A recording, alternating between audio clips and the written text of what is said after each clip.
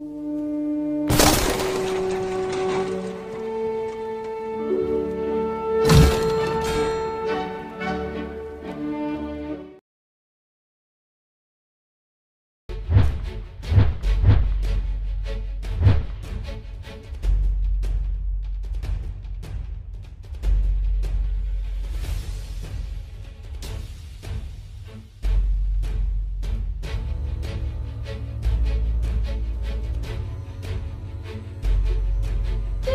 ਪੰਜਾਬ ਦੇ ਬਠਿੰਡਾ ਤੋਂ ਇੱਕ ਪ੍ਰਾਈਵੇਟ ਹਸਪਤਾਲ ਤੋਂ ਵੱਡੀ ਖਬਰ ਆ ਰਹੀ ਹੈ। ਜੇਕਰ ਇੱਕ ਮਹਿਲਾ ਦੇ ਇਲਜ਼ਾਮਾਂ ਨੂੰ ਸਹੀ ਮੰਨੀਏ ਤਾਂ ਉਸ ਦਾ ਇਲਜ਼ਾਮ ਹੈ ਕਿ ਉਸ ਨੂੰ ਹਸਪਤਾਲ ਦੇ ਆਪਰੇਸ਼ਨ ਥੀਏਟਰ 'ਚ ਲਿਜਾ ਕੇ ਇੱਕ ਇੰਜੈਕਸ਼ਨ ਲਾਤਾ ਗਿਆ ਤੇ ਇਸ ਤੋਂ ਬਾਅਦ 6 ਨੌਜਵਾਨਾਂ ਨੇ ਉਸ ਦੇ ਨਾਲ ਦੁਸ਼ਕਰਮ ਕੀਤਾ। ਇਹ ਇਲਜ਼ਾਮ ਇਸ ਲੜਕੀ ਵੱਲੋਂ ਲਾਇਆ ਗਿਆ। ਇਸ ਦੇ ਨਾਲ ਹੀ ਇਸਨੇ ਇਹ ਵੀ ਕਿਹਾ ਕਿ ਉਸ ਤੋਂ ਬਾਅਦ ਡਾਕਟਰ ਆਏ ਤੇ ਉਹਨਾਂ ਨੇ ਫਿਰ ਇੰਜੈਕਸ਼ਨ ਲਗਾ ਕੇ ਉਸ ਦਾ ਆਪਰੇਸ਼ਨ ਵੀ ਕਰ ਦਿੱਤਾ। ਹੁਣ ਕੀ ਸੱਚ ਹੈ ਕੀ ਝੂਠ ਇਸ ਦਾ ਖੁਲਾਸਾ ਤਾਂ ਪੁਲਿਸ ਦੀ ਪੜਤਾਲ ਤੋਂ ਬਾਅਦ ਹੀ ਹੋਏਗਾ, ਪਰ ਫਿਲਹਾਲ ਇਸ ਲੜਕੀ ਨੇ ਇਲਜ਼ਾਮ ਲਗਾ ਕੇ ਸਨਸਨੀ ਫੈਲਾ ਦਿੱਤੀ ਹੈ ਔਰ ਹਸਪਤਾਲ ਇਹਨਾਂ ਇਲਜ਼ਾਮਾਂ ਤੋਂ ਇਨਕਾਰ ਕਰ ਰਿਹਾ ਹੈ। ਤੁਸੀਂ ਆਪ ਹੀ ਦੇਖ ਲਓ ਕਿ ਇਲਜ਼ਾਮ ਲਾ ਰਹੀ ਹੈ ਲੜਕੀ ਦੈਨਿਕ ਵੇਲ ਪੰਜਾਬੀ ਟੀਵੀ ਦੇ ਲਈ। ਬਠਿੰਡਾ ਤੋਂ ਅਵਤਾਰ ਸਿੰਘ ਕਹਿੰਦੇ ਬਾਅਦ ਆਪਰੇਸ਼ਨ ਹੋਣਾ ਸੀ। ਦਿਆਲ ਕਿਡਨੀ ਹਸਪੀਟਲ ਅਸੀਂ ਇੱਥੇ ਆਏ ਸੀ। ਤੇ ਉਹਨਾਂ ਨੇ ਕਿਹਾ ਸੀ 4 ਵਜੇ ਤੋਂ ਬਾਅਦ ਤੁਹਾਡਾ ਆਪਰੇਸ਼ਨ ਹੋਵੇਗਾ ਤੇ ਇੱਕ ਮੁੰਡਾ ਆਇਆ ਮੈਨੂੰ ਬੁਲਾ ਕੇ ਲੈ ਗਿਆ ਕਿ ਤੁਹਾਡਾ ਆਪਰੇਸ਼ਨ ਹੋਣਾ ਤੁਸੀਂ ਚੱਲੋ। ਮੈਨੂੰ ਲਿਜਾ ਕੇ ਤੇ ਪੰਜ, ਛੇ ਮੁੰਡੇ ਹੈਗੇ ਸੀ, ਛੇ ਮੁੰਡੇ ਸੀ। ਉਹਨਾਂ ਲਿਜਾ ਕੇ ਤੇ ਮੈਨੂੰ ਕੰਡ 'ਚ ਇੰਜੈਕਸ਼ਨ ਲਾ ਕੇ ਮੇਰੇ ਨਾਲ ਰੇਪ ਕੀਤਾ।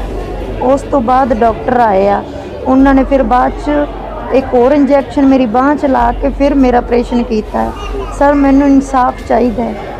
ਮੇਰੇ ਨਾਲ ਜਿੱਦਾਂ ਨਾ ਕੀਤਾ ਇਦਾਂ ਤਾਂ ਹੋਰ ਲੜਕੀਆਂ ਨਾਲ ਵੀ ਕਰਦੇ ਹੋਣਗੇ। ਖਰੇ ਕਿੰਨੀਆਂ ਨਾਲ ਕਰ ਚੁੱਕੇ ਹੋਣਗੇ ਉਹ? ਕਿੰਨੇ ਮੁੰਡੇ ਕਿੰਨੇ ਸੀ? ਮੁੰਡੇ ਛੇ ਸੀ ਸਰ। 6 ਮੁੰਡੇ ਨੇ। ਹਾਂਜੀ। ਤੁਸੀਂ ਫਿਰ ਉਸ ਤੋਂ ਬਾਅਦ ਆਪਣੇ ਘਰ ਵਾਲੇ ਨੂੰ ਦੱਸਿਆ ਹਾਂਜੀ ਮੈਂ ਆਈ ਸੀ ਮੈਨੂੰ ਲੈ ਕੇ ਆਏ ਸੀ ਤੇ ਮੈਂ ਇਹਨਾਂ ਨੂੰ ਗੱਲ ਕੀਤੀ ਸੀ। ਮੈਂ ਕਿਹਾ ਵੀ ਮੈਨੂੰ ਇਹਨਾਂ ਮੁੰਡਿਆਂ ਨੇ ਮੇਰੇ ਨਾਲ ਆ ਕੰਮ ਕੀਤਾ। ਕੀ ਮੰਗ ਕਰਦੇ ਹੋ ਪ੍ਰਸ਼ਾਸਨ ਤੋਂ? ਸਾਰਾ ਇਨਸਾਫ ਚਾਹੀਦਾ ਹੈ ਕਿ ਇਹ ਗਲਤ ਆ ਕਿਉਂਕਿ ਇਹ ਸਾਰੇ ਮਰੀਜ਼ ਜਾਂਦੇ ਆ ਡਾਕਟਰ ਕੋਲ ਡਾਕਟਰ ਭਗਵਾਨ ਦਾ ਰੂਪ ਹੁੰਦੇ ਆ। ਮਰੀਜ਼ਾਂ ਨੇ ਤਾਂ ਡਾਕਟਰਾਂ ਕੋਲ ਹੀ ਜਾਣਾ ਹੈ। ਜੇ ਅੱਜ ਡਾਕਟਰ ਡਾਕਟਰਾਂ ਦੇ ਜਿਹੜੇ ਰੱਖੇ ਹੋਏ ਆ ਮੁੰਡੇ ਉਹਨਾਂ ਰੱਖੇ ਹੋਏ ਉਹ ਇਸ ਤਰ੍ਹਾਂ ਗਲਤ ਕਰਨਗੇ ਤੇ ਡਾਕਟਰਾਂ ਤੇ ਯਕੀਨ ਕੌਣ ਕਰੂਗਾ? ਕੌਣ ਉਹਨਾਂ ਦੇ ਕੋਲ ਜਾਊਗਾ ਆਪਣਾ ਇਲਾਜ ਕਰਾਉਣ ਲਈ? ਉਦੋਂ ਤੁਸੀਂ ਜਦੋਂ ਗਏ ਹੋ ਤੁਹਾਨੂੰ ਹੋਸ਼ ਹੈਗਾ ਸੀ ਕਿ ਡਾਕਟਰ ਹੈ ਨਹੀਂ ਸੀ ਅੰਦਰ ਉਦੋਂ? ਨਹੀਂ ਡਾਕਟਰ ਨਹੀਂ ਅੰਦਰ ਹੈਗੇ ਸੀ। ਇਕੱਲੇ ਮੁੰਡੇ ਮੁੰਡੇ ਹੈਗੇ ਸੀ ਛੇ ਮੁੰਡੇ ਸੀ। ਹਾਂਜੀ। ਤੇ ਆਪਸ ਵਿੱਚ ਗੱਲਾਂ ਕਰ ਰਹੇ ਸੀ ਹਾਂਜੀ ਗੱਲਾਂ। ਕਰ ਰਹੇ ਸੀ। ਮੈਨੂੰ ਸਾਰੀ ਸਮਝ ਲੱਗ ਰਹੀ ਸੀ। ਕਹਿੰਦੇ ਸੀ ਇਹਦੇ ਦੇਖੋ ਤਾਂ ਸਹੀ ਇਹਨੂੰ ਹੋਸ਼ ਹੈਗੀ ਕਿ ਨਹੀਂ? ਬਾਕੀ ਮੈਂ ਜਦੋਂ ਉਹਨਾਂ ਮੇਰੇ ਫੇਸ ਤੋਂ ਕਪੜਾ ਚੱਕਿਆ ਤਾਂ ਮੈਂ ਆਪਣੀਆਂ ਅੱਖਾਂ ਬੰਦ ਕਰ ਲਈਆਂ ਸੀ। ਬਾਕੀ ਮੇਰਾ ਸਰੀਰ ਨਹੀਂ ਕੰਮ ਕਰ ਰਿਹਾ ਸੀ। ਬਾਕੀ ਮੈਨੂੰ ਪਤਾ ਸਭ ਲੱਗ ਰਿਹਾ ਸੀ ਕਿ ਜੋ ਵੀ ਉਹ ਕਰ ਰਿਹਾ ਗੱਲਾਂ ਵੀ ਸਾਰਿਆਂ ਦੀ ਸਮਝ ਲੱਗਦੀ ਸੀ।